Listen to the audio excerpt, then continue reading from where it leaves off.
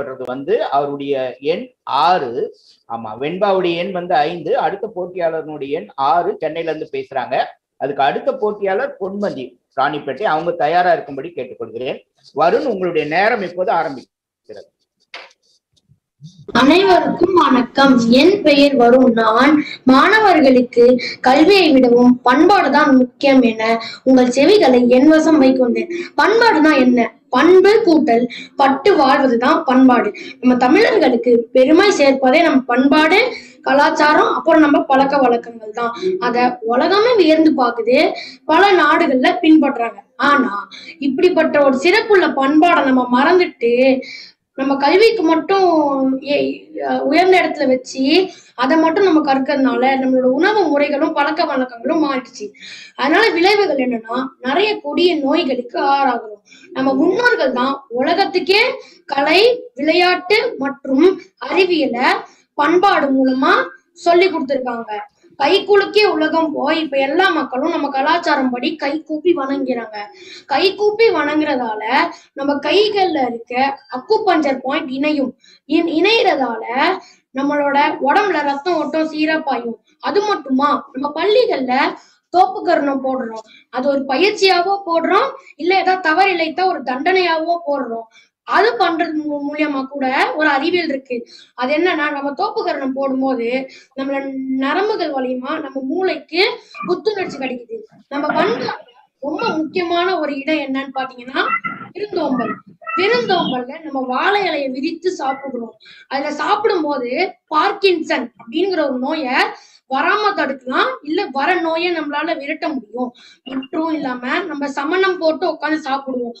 அப்படி சாப்பிடும் போது நம்ம உடம்புல ரத்தம் ஓட்டம் நல்லா பாயும். அதனால நம்ம சாப்பிடுற உணவுலாம் சீக்கிரமா ஜீரணிக்கும். இப்படிப்பட்ட ஒரு சிறப்புள்ள பண்பாடை நிறைய பேரு அதை படிக்காம இல்ல அதை தெரிஞ்சுக்காம கல்வி கற்றவர்களா மட்டும் இருக்காங்க. அதுல நிறைய பேரு சிறையில இருக்க கூட நம்ம பாக்குறோம். ஒரு மாணவன் நல்ல மாணவனாக ஆகணும்னா அவனுக்கு பண்பாடும் வேணும் கல்வியும் வேணும்.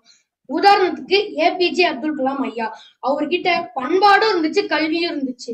அதனாலதான் இன்னமும் நம்ம நெஞ்சிலையும் நம்மளோட மூளையிலையும் அவர் இன்னும் இருக்காரு. திருவள்ளுவர் இந்த திருக்குறள்ல வையத்துள் வாழ்வாங்கு வாழ்பவன் வானுரையும் தெய்வன் போல் தெய்வத்துள் வைக்கப்படும்னு சொல்லியிருக்காங்க. நம்ம பெரியவர்கள் கிட்ட இருந்து பண்பையும் கல்வியையும் இயற்கையாவே கிடைக்கும் ஆனா நம்ம தான் அவங்க கிட்ட இருந்து கத்துக்கணும். அது மட்டும் இல்லாம நம்ம உலகத்துல நிறைய சான்றோர்கள் நல்ல பண்போட இருந்ததுனால அவங்க வந்துட்டு நல்லவங்களா மதிக்கப்படுறாங்க. அதே மாதிரி நம்மளும் வந்துட்டு நல்லவர்களா இருந்தா நம்ம உடல் மறைந்தா கூட நம்மளோட நற்பெயர் என்றுமே ஞாபகம் இருக்கும். அப்புறம் பெரியவர்கள் அவங்களோட மாணவர்களுக்கு அன்பு மற்றும் கல்வியோட சேர்த்து பண்பாடையும் சொல்லித்தர வேண்டும் என சொல்லி விடைபெறுகிறேன். வாய்ப்பு தந்தவர்களுக்கு நன்றி வணக்கம். வருண் ரொம்ப ரொம்ப அழகா பேசுனீங்க. ரொம்ப இயல்பா பேசுனீங்க. நன்றி ஐயா. நன்றி ஐயா. உங்களுடைய கருத்து. அதாவது ஒரு பட்டிமன்ற பேச்சாளர் மாதிரி அந்த கலவைக்காக பேசினா பாருங்க.